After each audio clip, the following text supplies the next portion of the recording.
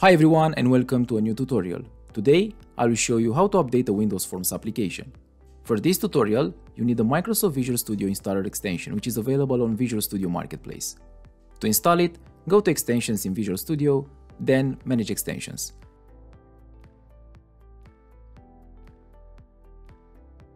This is the extension you need, so press the download button and be aware that you have to close the Visual Studio and then reopen it in order the extension to be installed.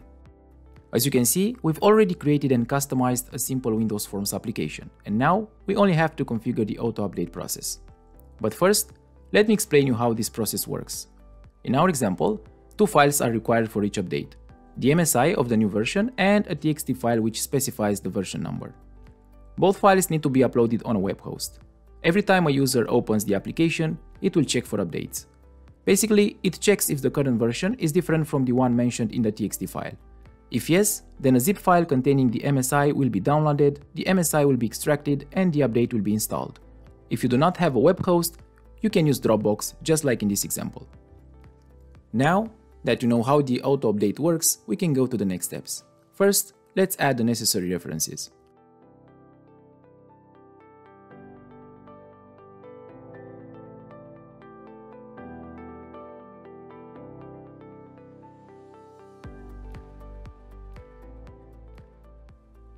Second, let's add the code for the auto update process.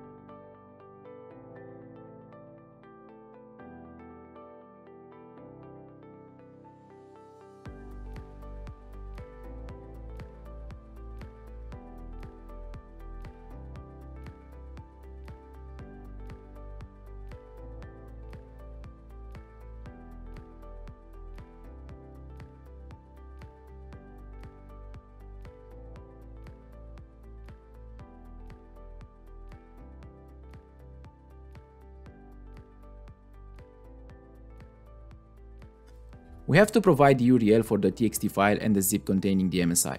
For now, we just need to reserve the location for the files. Later, we will replace them with those of the update.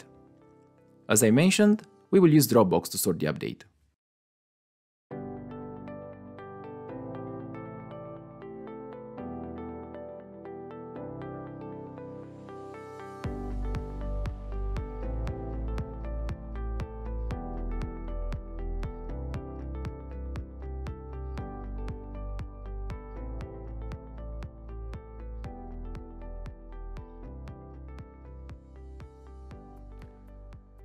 Copy the links and paste them to your code.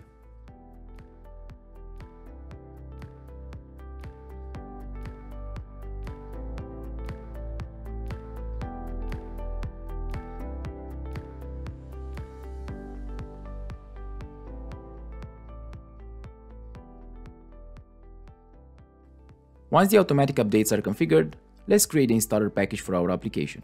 Right-click on the solution, then add New Project. From the templates list, select Setup Project,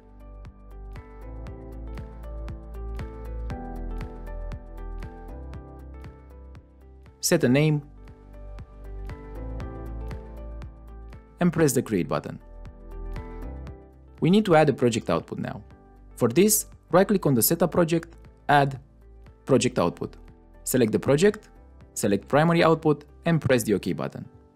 Let's create a desktop shortcut. Go to the File System and open the Application folder. Right-click on the primary output, then Create Shortcut. Rename the shortcut and place it in the user's desktop folder. Now, build a setup project and run the MSI to install the application.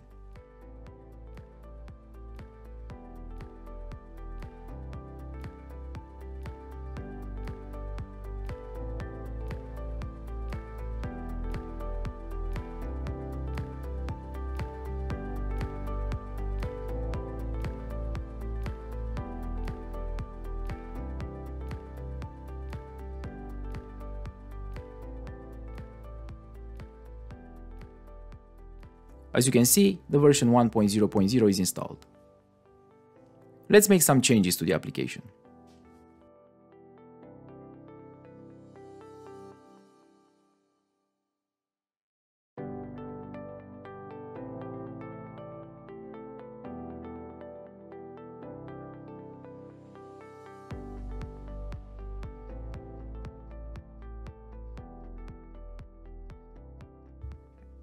Let's consider this the version 2.0.0. To provide the update, follow the next steps. Change the assembly version.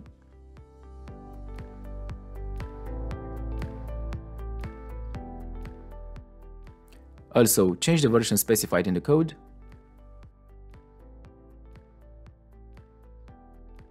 Change the setup project version from 1.0.0 to 2.0.0 and set the remove previous version property to true. Then build the projects.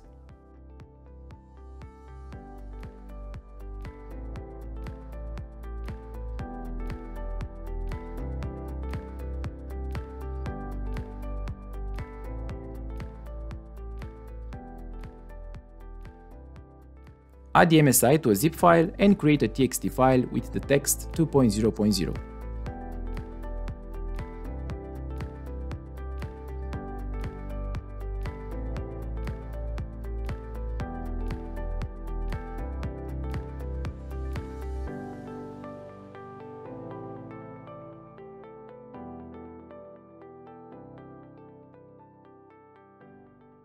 upload the files to Dropbox.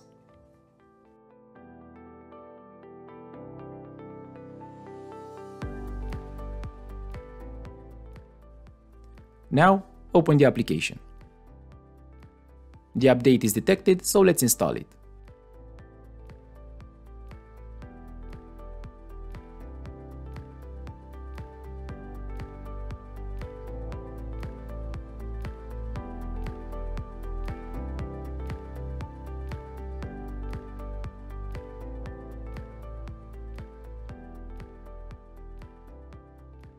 As you can see, the version 2.0.0 is installed.